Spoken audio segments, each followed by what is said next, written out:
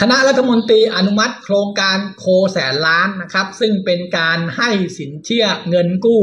แก่พี่น้องประชาชนที่เป็นสมาชิกกองทุนหมู่บ้านและชุมชนเมืองทั่วประเทศนะครับ กู้ได้ครัวเรือนละ 50,000 บาทนะครับ ดอกเบี้ยพิเศษเพื่อนำไปเลี้ยงโคนะครับ โดยรัฐบาลจะช่วยชดเชยดอกเบี้ยให้ทางทกส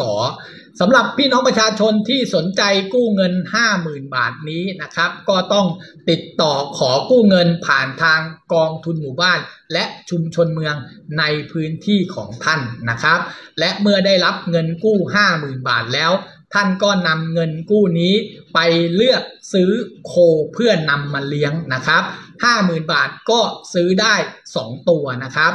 และมีเวลาผ่อนคืนถึง 5 ปีนะครับ โดยในช่วง 2 ปีแรกเนี่ยรัฐบาลจะช่วยชดเชยดอกเบี้ยให้กับทางทกสนะครับ โดยคาดว่าแม่โค1ตัว เลี้ยง 5 ปีก็จะออกลูก 6 ตัว รวมกับแม่ครัวเป็น 7 ตัวนะครับ ก็จะสามารถขายได้ในราคาประมาณ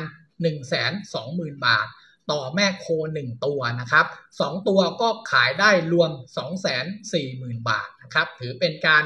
สร้างงานสร้างอาชีพสร้างรายได้ให้กับพี่น้องเกษตรกรทั่วประเทศนะครับ ตอนนี้ก็เตรียมความพร้อมนะครับ ก็ไปติดต่อสอบถาม และเตรียมตัวในการขอกู้เงินครอบครัวละ